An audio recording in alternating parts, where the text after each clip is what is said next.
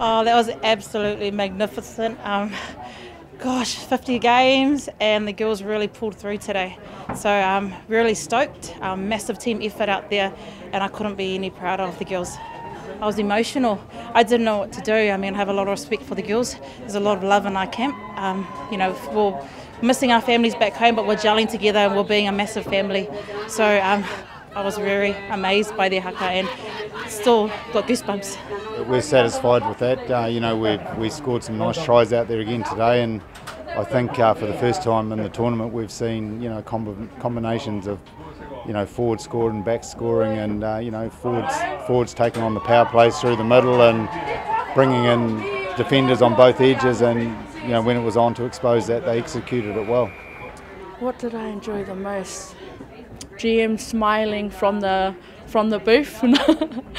Uh, when I when I got those tries, I just I just knew he would be smiling. It's hard to get a smile out of him, but I'm sure, hopefully, hey.